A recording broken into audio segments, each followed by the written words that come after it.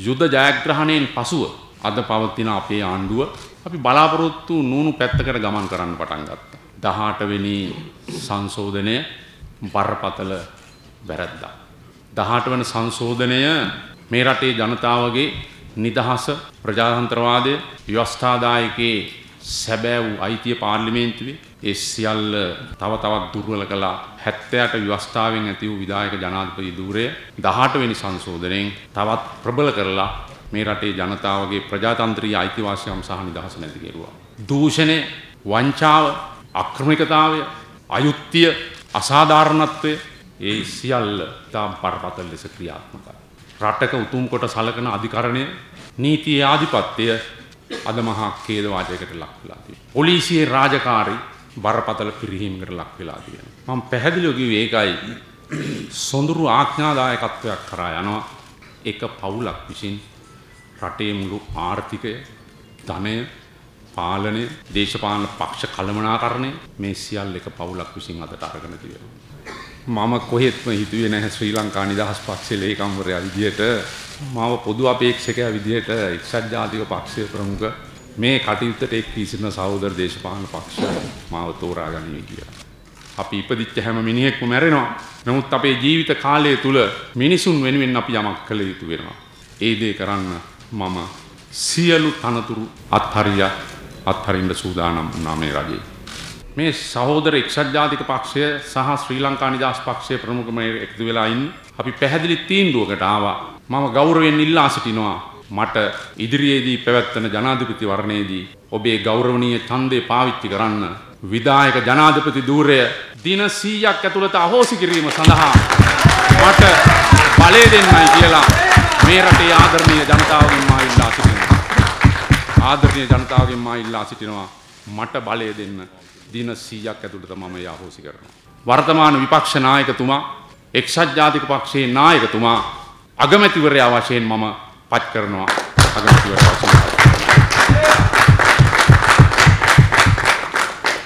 ජනතාවගේ ප්‍රාර්ථනා බලාපොරොත්තු අඩිෂ්ඨාන ඉෂ්ට කිරීම සඳහා මම පැහැදිලිවම කැප වෙනවා. මේ බලවේගය ගොඩනැගීම සඳහා පහුගිය කාලෙම මෙම ජනාධිපති ක්‍රමයට විරුද්ධව මෙම පාර්ලිමේන්තු මැතිවරණ ක්‍රමයට විරුද්ධව පක්ෂය තුලත් පක්ෂයෙන් පිටත් අපි හඬ නැගුවා. ඒ හඬ නැගීමේ අවසාන ප්‍රතිඵලය අද සාර්ථක වෙලා තියෙනවා. මගේ දේශපාලන ගමනේදී මම ඊ타ත්ම සතුටු වෙන දවසක් අද මම.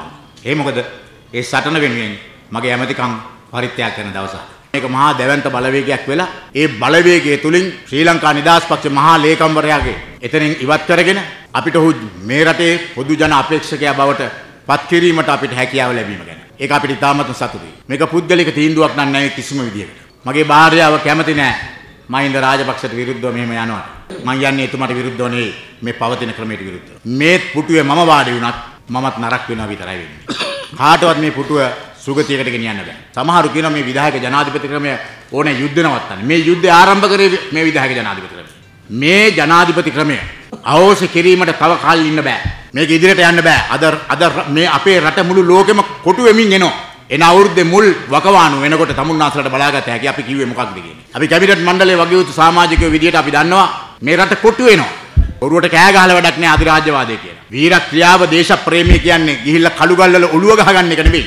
බුද්ධිමය වශයෙන් තමන්ගේ දේශය ජාතිය වෙනුවෙන් ඉදිරිපත් වීමයි. අපි තරුණ කාලේ ඉඳලා සටන් කරලා, මැදිවියට ඇවිල්ලා සටන් කරලා, වයසට ඇවිල්ලා දැන් සටන් කරලා තව ටික කාලෙකින් අපි නැති වෙලා යනවා. ඊට පෙර මේ රට හදාගැනීමේ අත්‍යවශ්‍ය සාධකය අපි ඉදිරි තියෙනවා. මේ මැදිවරණයේදී මෛත්‍රීපාල සිරිසේන මහත්තයව මේ රටේ ජනාධිපති කරලා මේ රට ශිෂ්ටාචාර සමාජයක් ශිෂ්ටාචාර රටක් බවට අපි ඒකාන්ත වශයෙන්ම අපි අපි මැතිවරණ ක්‍රමය වෙනස් කරනවා. අපි පාප කර්මයක් කරා 18 වෙනි සංශෝධනයට සමා වෙන්න. ඒ ඒ ඒ කරපු පාප කර්මෙන් අපි මිදෙන්නට ඒ 18 වෙනි සංශෝධනය අපි අයින් අයින් කළා. මේ මහින්ද රාජපක්ෂ, බැසිල් රාජපක්ෂ, ගෝඨාභය රාජපක්ෂ, අපේ නාමල් රාජපක්ෂ. ඒ පවුලයි අපේ පවුලේ අතර කිසිම ප්‍රශ්නයක් නැහැ. අපි දේශපාලනයට ආවේ අපි ගැන හිතලා නෙවෙයි. ඒ නිසා අද ඉඳලා අපිව තමුන්නාසලට බාරයි.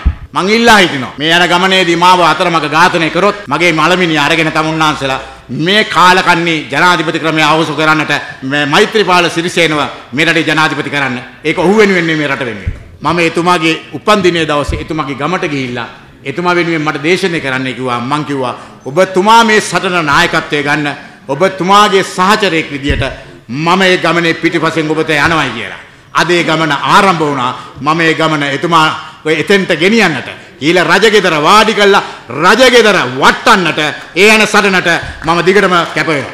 නැවත වතාවක් මගේ දේශපාලන මහගෙදරට නැවත ඇතුල් වීමට අවස්ථාව ලැබීම ගැන මම විශේෂයෙන්ම සතුටු වෙනවා.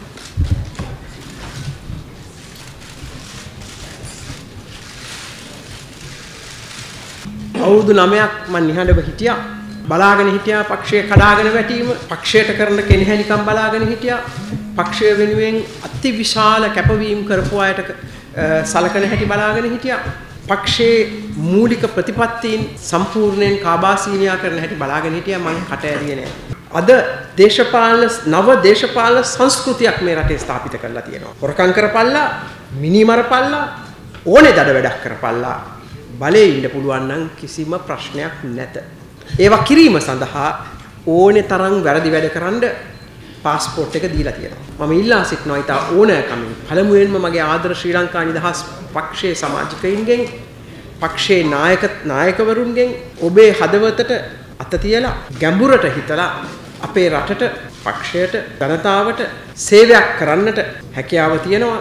නින්දිත ක්‍රමයට විරුද්ධ සියලුම පක්ෂ සහ සංවිධාන අපි සමග එකතු වෙලා තියෙනවා.